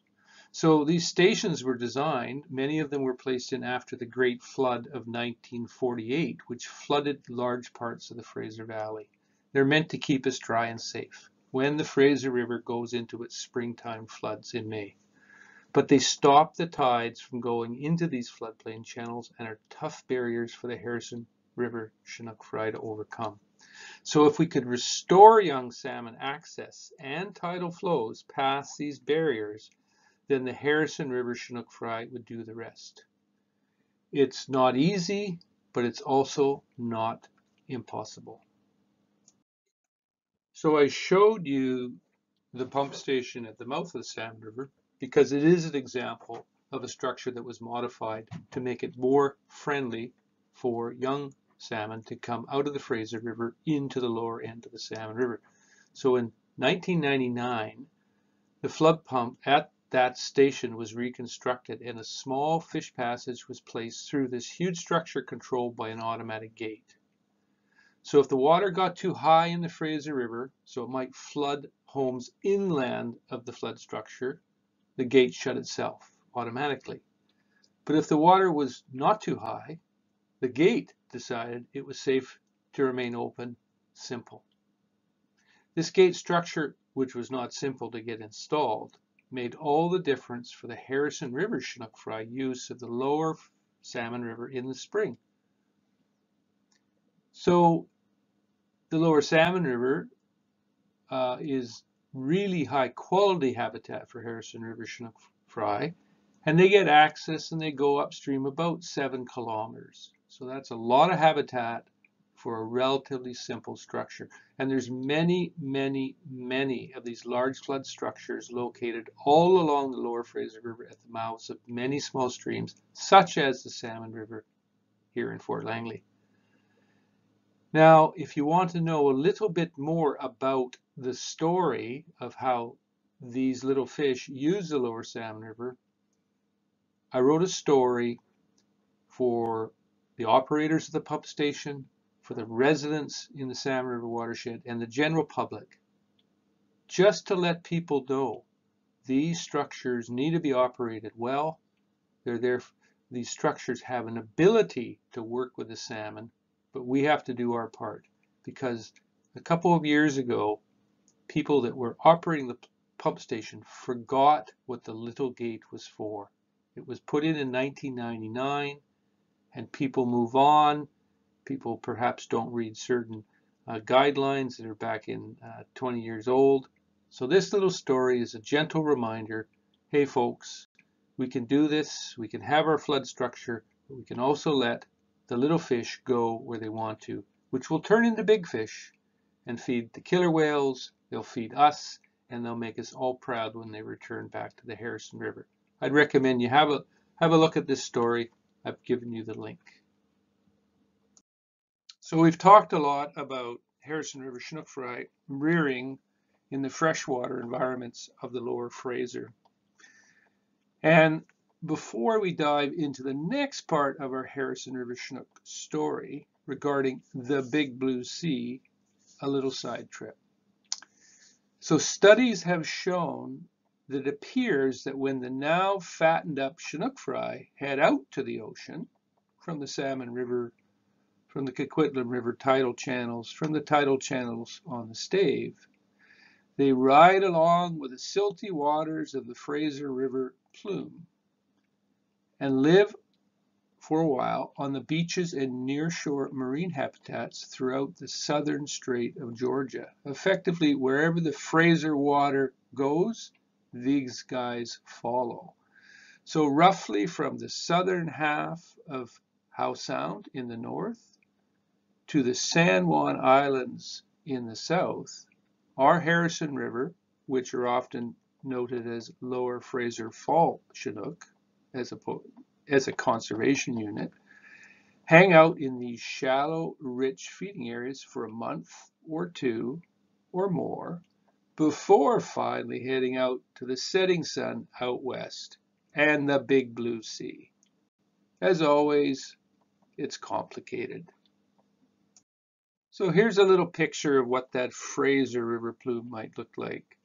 The Fraser River discharges into the Strait of Georgia through the north arm, the middle arm, and the south arm.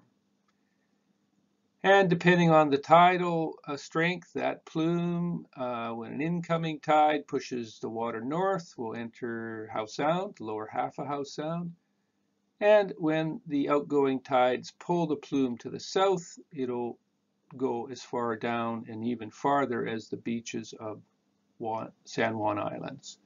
So the two studies I'm going to show you to give you a sense of where these Harrison River Chinook fry go in the nearshore environment are the yellow star in the north and the yellow star in the south. So this is from a Howe Sound juvenile Chinook study report in 2012. You'll notice the green circles indicate Harrison River Chinook fry captures. The largest captures were in the beginning of May. About the time we see them leaving the Fraser River sloughs and channels as the water temperatures rise.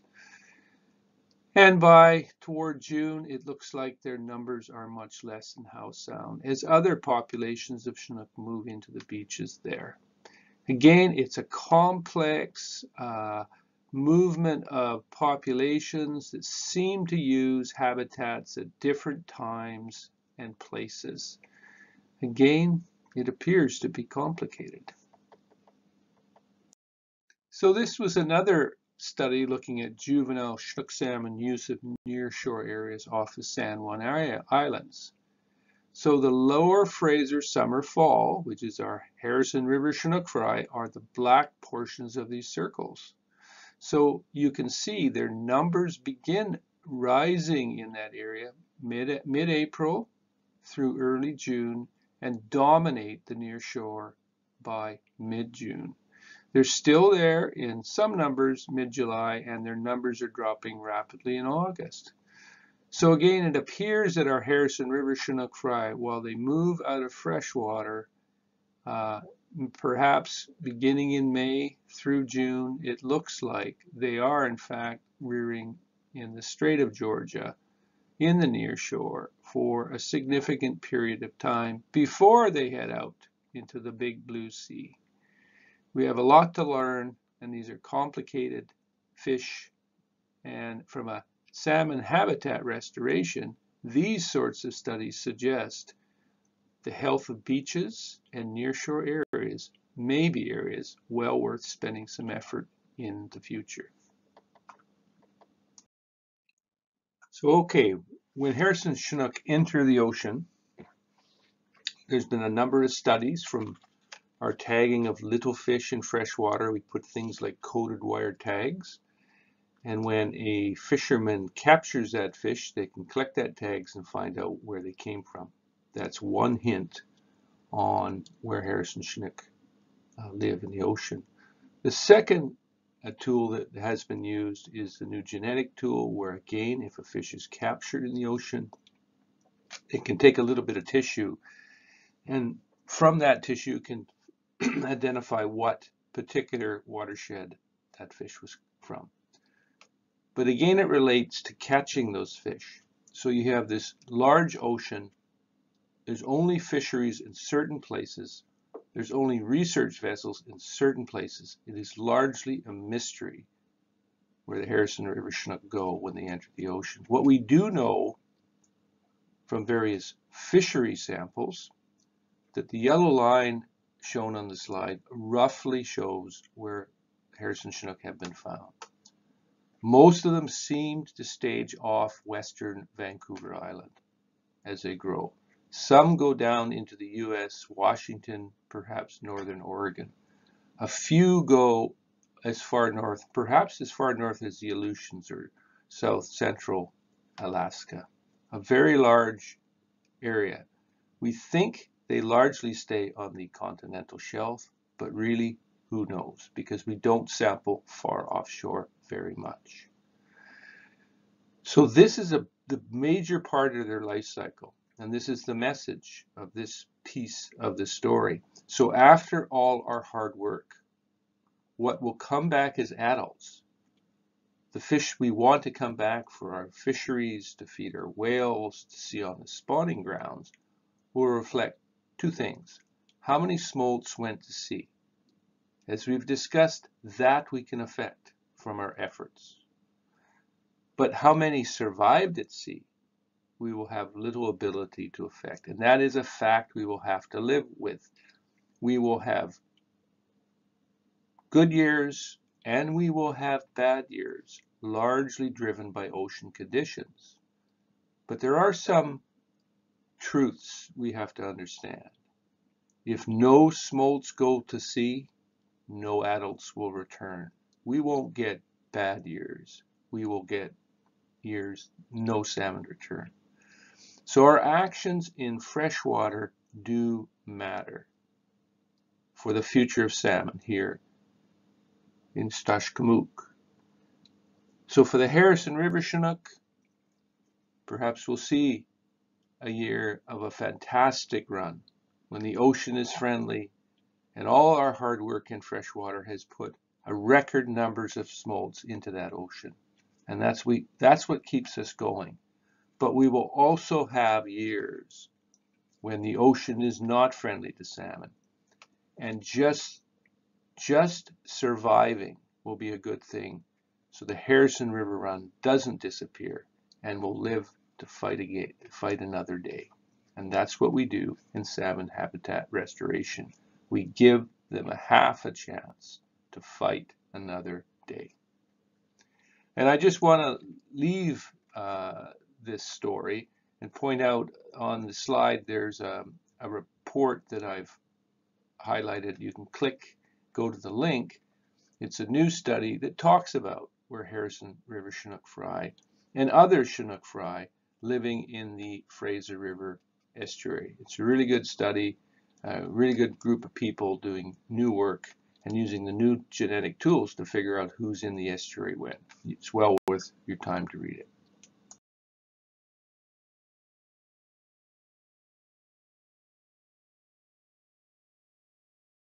We're back to the headline that started our little story about the upper Pitt and Harrison River Chinook.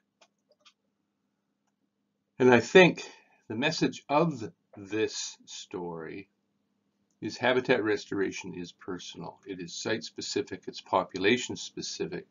So we have to be careful when we make general statements. So the story that I've worked through with you might be true. I think it is, but who truly knows? We were, after all, only human.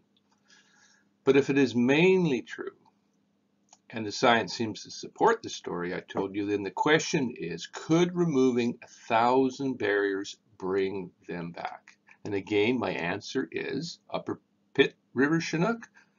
Probably not. However, if you guys get on with your careers and get to work fixing these barriers one by one, which is hard and slow work, my answer is absolutely. Well, probably. This is biology.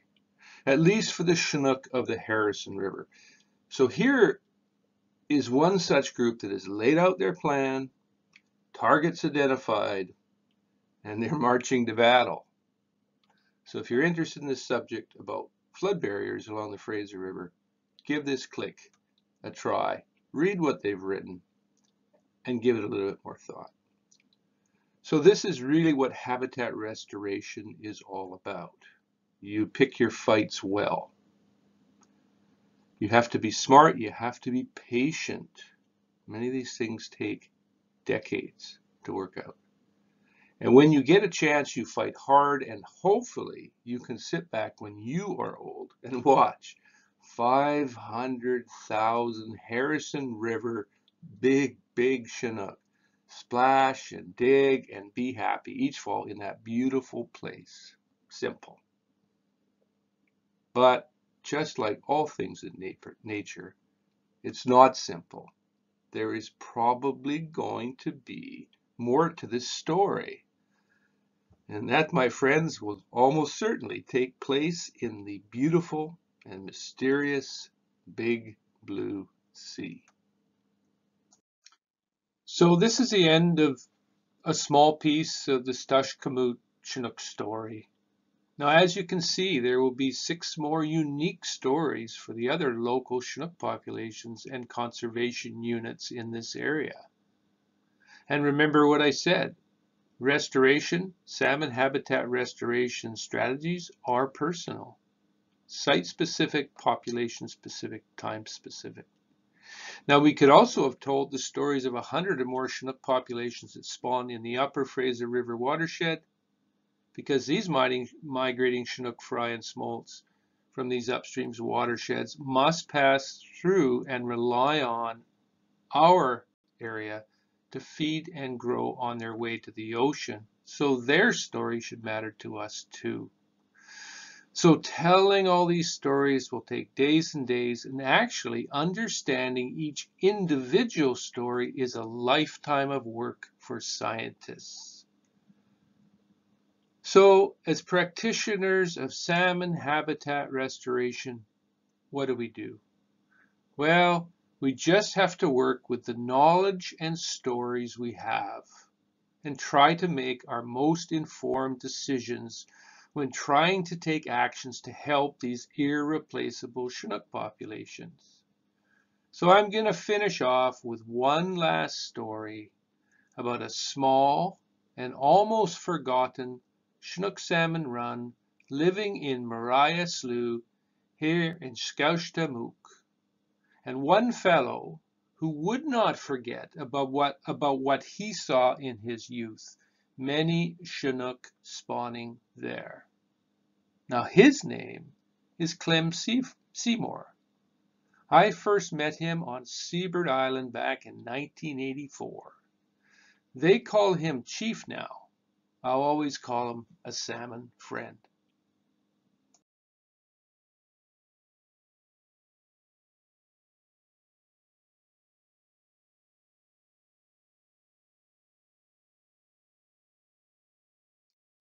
So here's a high level view of Maria Slough. So it was an active side channel of the Fraser River historically. So it probably flowed strongly during the spring freshet and perhaps the fall freshets of the Fraser River. And we know that it's, it flowed strong enough that in the uh, steamboat era, when steamboats, paddle boats came up the Fraser River, they actually went up Maria Slough because it was a little easier to go up the slough than fight the main current of the Fraser River. But after uh, 1948, after the Great Flood of 1948 that flooded the adjacent lands, the upper end was diked off. And this prevented the spring flo floods from coming down Maria Slough and the fall floods, and it fundamentally changed the nature of the flood. So Maria Slough is still wet, but it's fed by groundwater resources coming through the gravel of the Fraser River floodplain, and a little bit of water comes out from a tributary called Hicks Creek. And this is the entire flow of Maria Slough today. So you can imagine when the spring freshet no longer flowed strongly down Maria Slough, that freshet would have refreshed the gravel, washed away any of the old leaves from the past year, removed any silts that it deposited over the winter. And at the end of the spring freshet, the gravel from one end of the Maria Slough to another would, would be shiny and clean. Now perhaps in the winter when it gets cold in the interior and the Fraser River flows dropped, it the Fraser River would not flow in the upper end of Maria Slough, which then relied on groundwater and flows from its tributaries like Hicks Creek.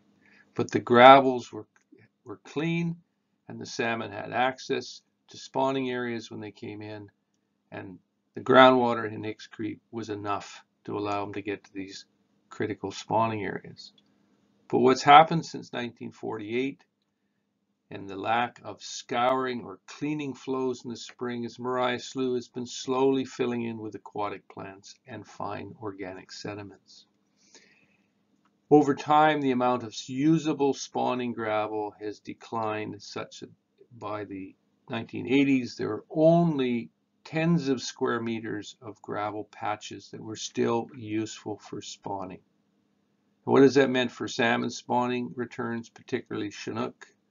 Well, they had been declining ever since the slough lost this freshet connection to the Fraser River. So by the 1980s, from the Fisheries and Oceans records and the fishery officers' counts, only about 25 Chinook still spawned in Maria Slough each season. And in 1987, which was a drought year, somewhat similar to this year, 2021, when Hicks Creek wasn't flowing till very late in the fall and the groundwater resources were depleted, the slough had such low flows, only four Chinook salmon recorded returning to Maria Slough to spawn. The end of this unique salmon run in 1987 was within sight. So lack of summer scouring flows in the Fraser River, agricultural nutrients coming off the farmlands, and encroachment of reed canary grass from the sides leaf fall in the fall all contribute to the declining quality of salmon habitat in the slough. So by the 1980s, most of the gravel spawning areas in the slough had been covered in silt and grass, and only a few patches of gravel remained. So I'd suggest you read five, chapter 5.8 restoring fish access and spawning hab habitat re rehabilitation in the toolbox. So from our assessment, the salmon habitat restoration strategy prescribed to improve conditions for Chinook salmon was to focus on the amount of spawning habitat for salmon in the slough, not the rearing, the spawning. So at the same time, because the numbers of Chinook salmon were so dangerously low, those four fish in 87 really were an eye-opener.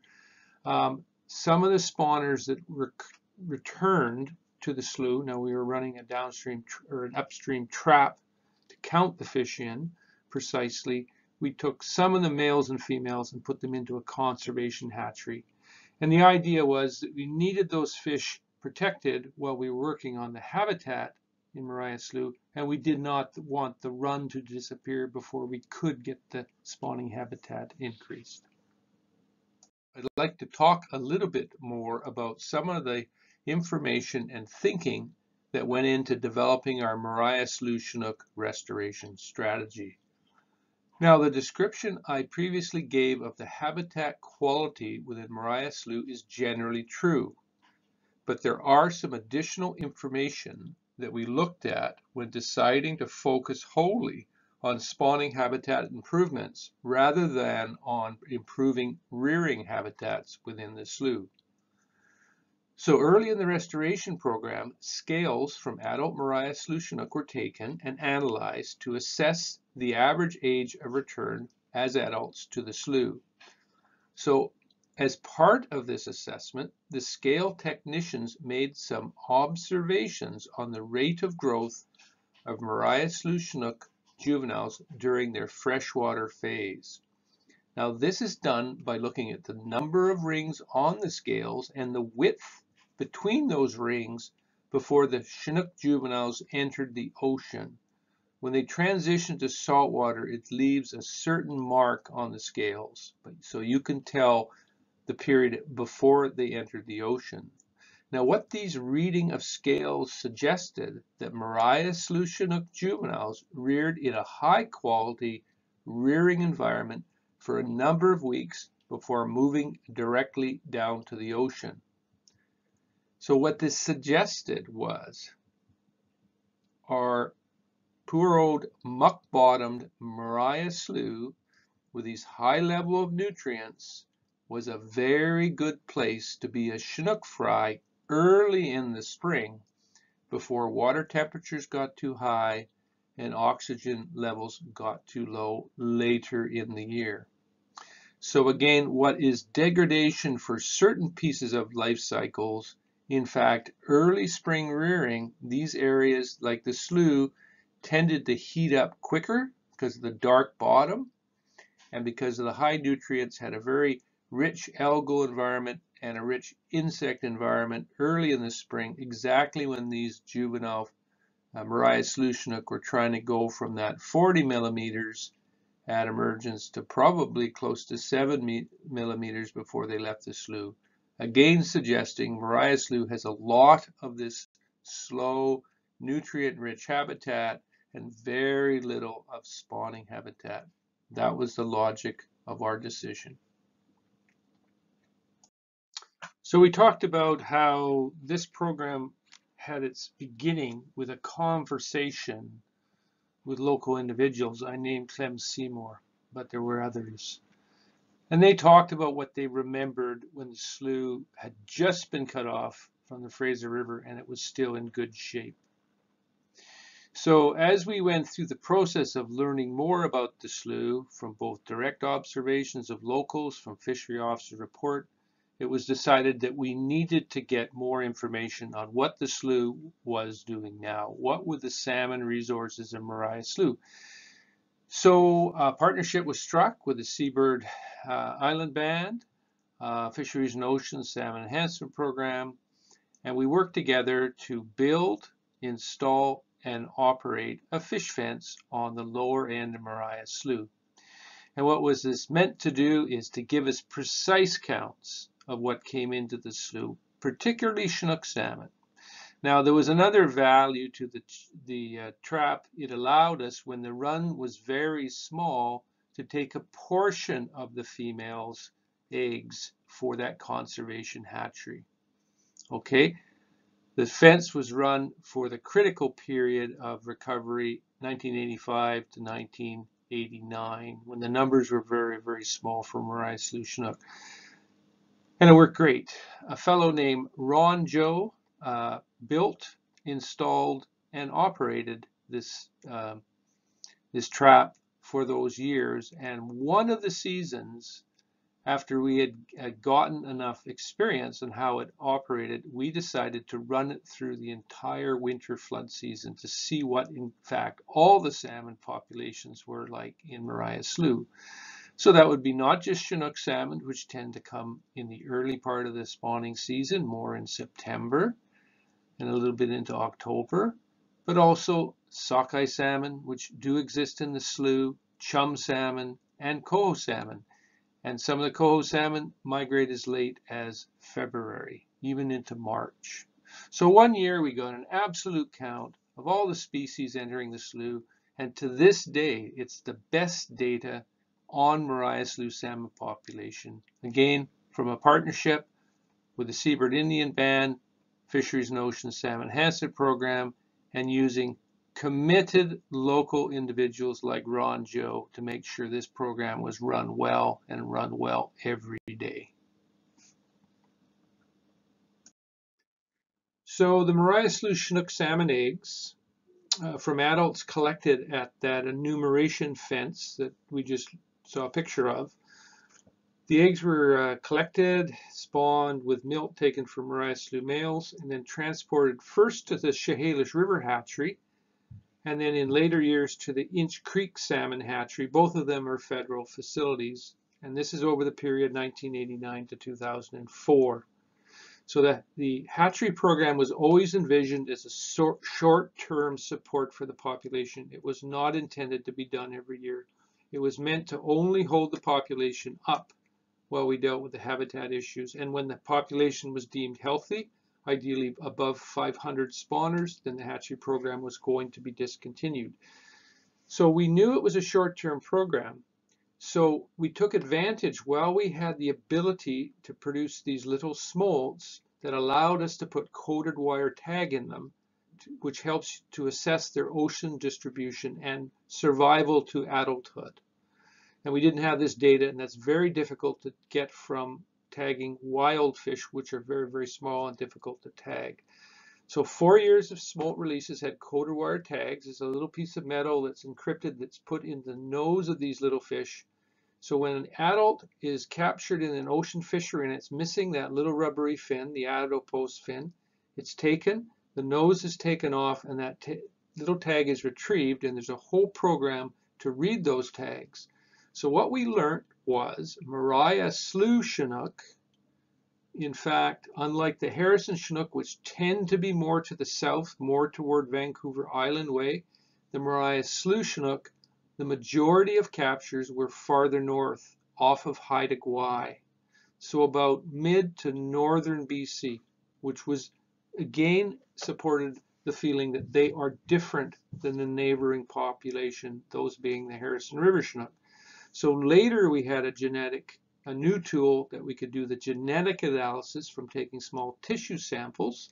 So we sampled uh, the Chinook as they passed through our enumeration fence, it was analyzed and then compared to all the other populations in the Fraser watershed. And once again, Maria Slough did not show a close relationship to any of the neighboring populations, including the Harrison River Chinook, which are just around the corner.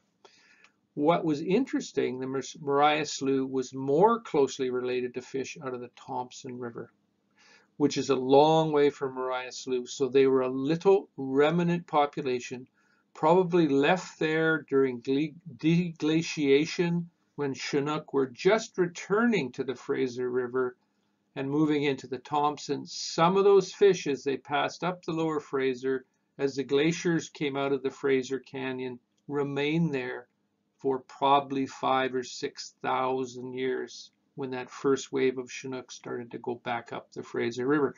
So for that reason, the little population of Maria Slough was deemed distinct, unique, and it has own conservation uh, unit under the Canada Wild Salmon Policy, which is a really good news because there's a higher level of protection given to a conservation unit. Remember, if you if you lose a conservation unit, it's gone. There's no way to replace it. It is viewed as irreplaceable within a reasonable time frame. So stepping back, looking at our program, we came to the watershed, we listened to what local elders and landowners and residents told, could tell us about what they knew and remembered about Chinook and Maria Slough. We went back to the literature and viewed, reviewed the DFO Fishery Officer's report on spawner counts that can go back into the 1940s. Then we worked with local community, in this case the Seabird Island Indian Band, to initiate a cooperative cooperative population assessment and science program. We looked where they spawned, how many came in the slough. We captured them, saw how many males, females, what age they were. And we did all this before we did any directed restoration work. So we gathered this information, then we had a thoughtful discussion with our partners. What, what actions do, you, do we think we can take that will make a difference? And then we made our best guess how to help Maria Slough and got to work. Simple. So when the hatchery smolts were large enough to be released, they were brought back to Maria Slough to known spawning sections, those few patches of gravel that remained, or sites that we identified that could be rehabilitated as spawning areas. So the idea that when you release a fish, it's not going to come back for three to five years. That gives you a period of time to get on with your restoration work. Now, there's a little bit of pressure because if those fish will come back in three to five years. So you really want to have a plan. How would you rehabilitate these areas? And we had a plan and we got to work and those fish when they came back I think were very very happy. So over the period 1987 to 2002 four spawning channels or spawning areas were improved for use by Chinook salmon. And the very first one done was the lowermost one that we refer to as fish trap because that was the location later that a fish trap was put into the top end of that channel.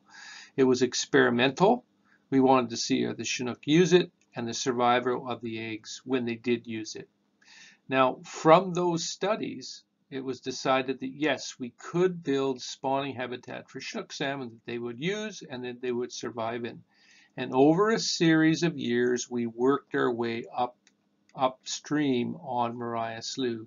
So the next channel in the sequence is known as McNeil Channel, named after Chuck McNeil, present band manager of Seabird Island Band, who was instrumental in getting the funding and the nuts and bolts of getting these projects built in partnership with the Salmon Enhancement Program folks of DFO. The next channel up was Clem Seymour. As I've already described, he was instrumental in getting this program going from his concerns as a citizen about the Chinook in Maria Slough and later as a chief of the Seabird Island Band. And the very last channel, which was done a number of years later when the lower channels were starting to show some signs of filling up, was done on a gentleman's name of Mr. Van Dykes. It was effectively a dry part of his of his lawn in front of his house that was the old slough bottom but no longer wetted and we dug a channel through his front yard. So Mr. Van Dyke, we appreciated him stepping up and providing those areas for Chinook salmon restoration in Maria Slough.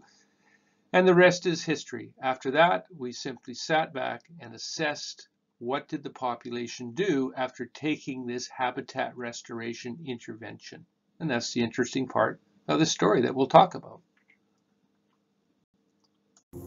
So I just wanted to show a little clip of a female Maria Slough Chinook. You'll notice her tail is white, which means she's largely laid her eggs in the gravel. If you look at the gravel below her, it's much cleaner than the gravel around her. That's her redd.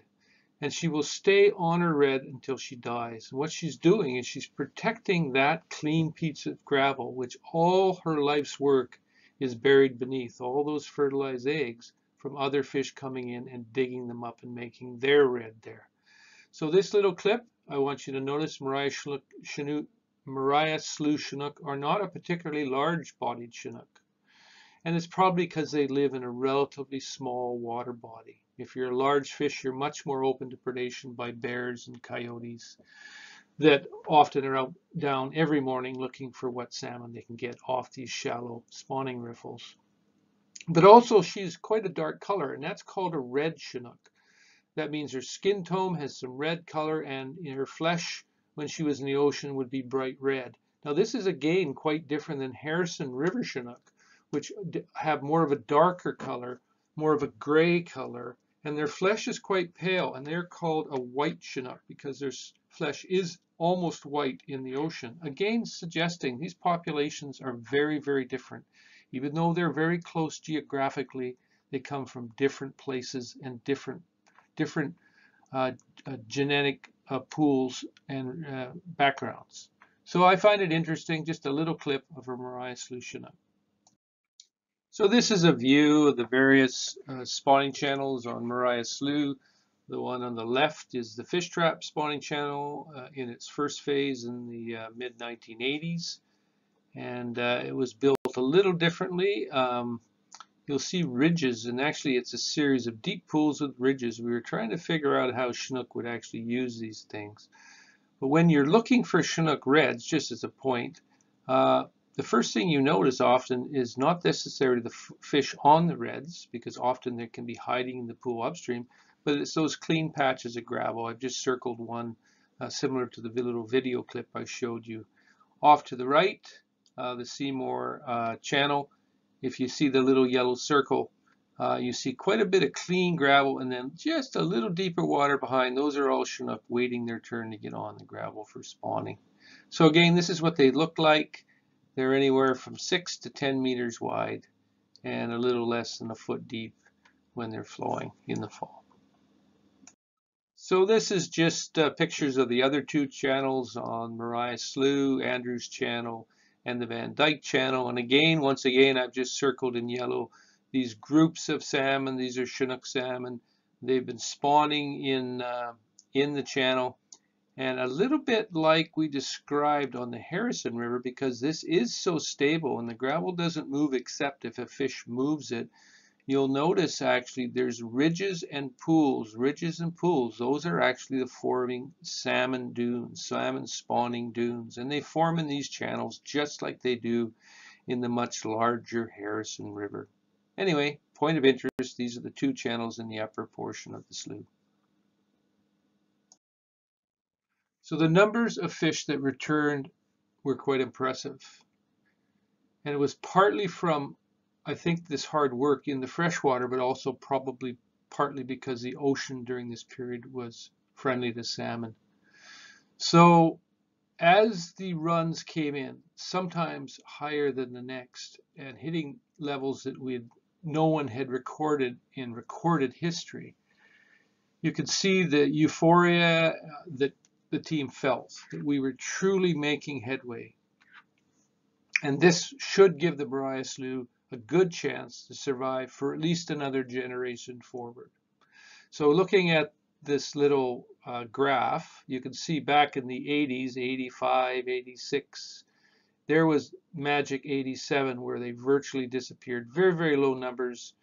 Um, the fish fence, um, we didn't have the fish fence. We started to get the fish fence in and about 96, you can see the numbers starting to show some signs. And then these 202, they just went straight up the wall. We went, looks like almost 900 spawners and then down a few more years and then up for the, the really high of 1500 spawners in 2013. So these were phenomenal numbers compared to the 20, 30, 10, 4 of the 80s. Truly a remarkable recovery. Um, an example of, I think, a restoration program that was well planned and well delivered. But here's the other part of the story, the big blue sea part. No matter what is happening in the freshwater, no matter how many smolts are going to sea, the sea still dictates how many what proportion at least of those will survive because the ocean we know is a dynamic and changing environment. So the last data on this graph and the last data I have available right now was 214 and you'll notice the run is down. It's not catastrophically down, but it's down. And um, it was the beginning of a warning of something that was coming our way. And this is where I want to remind you of that word humble. I used it in the beginning of this discussion. Some things we have some control over, particularly, let's say, spawning, available spawning grounds in Maria Slough. Some things we have a little bit of control, the rearing habitat in Maria Slough and the Fraser River, as I've talked about some other habitat projects. Uh, but the ocean we have no control over. So let's sort of carry on the story. So after all the cheering died down and patting ourselves on the back, the real world poked us in the ear and let us know it called the shots, not us. The real world was, of course, the big blue sea issue. And in fact, from 213 to 216, a large and warm pool of water formed in the eastern North Pacific, affectionately known as the blob. So warmer ocean waters are generally seen as bad for young salmon trying to grow quickly in the ocean, and many don't survive during these warm water events. Warmer water changes the ecology of the ocean different food items are available to the young salmon. And it turns out in warmer waters, these food items aren't as nutrient rich and, or dense. So the young salmon don't grow as quickly. And if they don't grow as quickly, of course, uh, their predators are always chasing them. So the bigger is better. And anyway, at the end of the day, survival is much poorer during these warm water events. Now, this 213 to 216 blob was particularly particularly large in size and nasty in character. So everyone, particularly the ocean scientists, were scared what it would do to all the little salmon entering the ocean from 213 to 216. Well, we were about to find out in Maria Slough. So beginning in 214, if you remember, uh, from the previous slide, Maria, Maria Slough Chinook returns started to decline and collapsed once again to low numbers in over the years through to 219. So it was a blast from the past. It was sort of like the 80s show once again. So it's a lesson for all of us to think about. When these things happen that we do not control, we have no control over ocean ocean uh, uh, quality ocean environment with these little salmon from Maria Slough entered. Do we just give up? Or do we just do what we've learned, think of what we did right, and get on with it? So in 2019, more Chinook eggs were collected for the conservation hatchery program for Maria Slough. Now this hadn't been done for probably five years because we've had we had excellent escapements previous. But in 219 it was started and an effort was was made to begin clean cleaning the spawning areas that had been built, you know, some of them up to 20 years before, just to help those Chinook that did survive the blob. The idea that uh, any returning survivors would find optimum spawning conditions so their eggs had the highest chance of survival when they uh, were laid in, the, in these newly cleaned spawning areas. So here we are, 2021. The blob is now history. The ocean is once again friendlier for young salmon, and the numbers of Maria Chinook are once again increasing. So what's the messages from this ex example? Well, the Maria Slough team is just picking up their game, and they're proving they are in, in this for the long haul. And that is the most important lesson you could take away from today. We're in this for the long haul. This is the landscapes we share with salmon. And it really is up to us what we do, how we treat the land, and what we do on the land, which will, to a certain degree, dictate the future of salmon in our area. Of course, the ocean issues will, will be the ocean issues. But there's a, there's a simple rule. If no smolts leave the freshwater environment to go to the ocean, it doesn't matter whether it's good or bad conditions in the ocean. If lots of smolts go to the ocean, we will get good years. And we will get some bad years. But we hopefully will be able to help our salmon populations persist in good and bad years. And that is the message. We are in this for the long haul. Anyway, that's the end of our story about our Tyee team.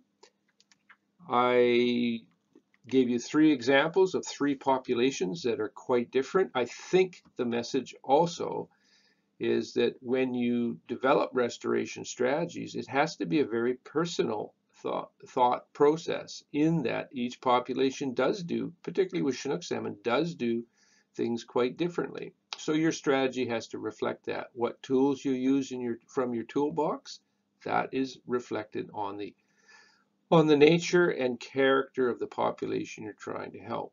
So anyway, hopefully this uh, generates some uh, thoughts, some discussion, and perhaps if you are thinking about a Chinook population that you care about, uh, gives you an idea what strategies you might be thinking about to help your fish that you care about.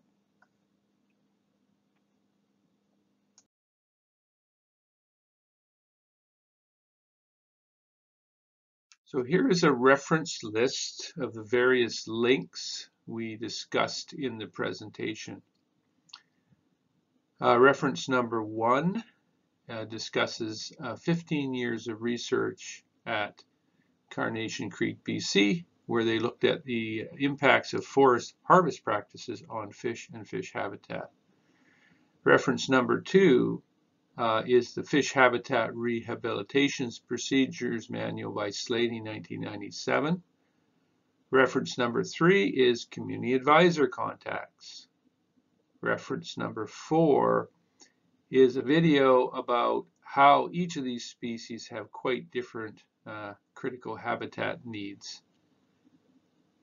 Reference number five, again, it talks about the different species use of habitats, another video. Both of the videos are really quite interesting to look at. So this is just additional references that were uh, talked about in the presentation. Reference number six is the wild salmon policy. Reference number seven uh, is a document talking about the conservation status of the Upper Pitt River Chinook. Reference number eight is a short story on the Harrison River Chinook fry migration down through the pump station into the lower Salmon River. And reference number nine is a video presentation explaining the impacts of flood infrastructure along the lower Fraser River and some of the associated, impact, associated impacts on salmon and some solutions to these impacts.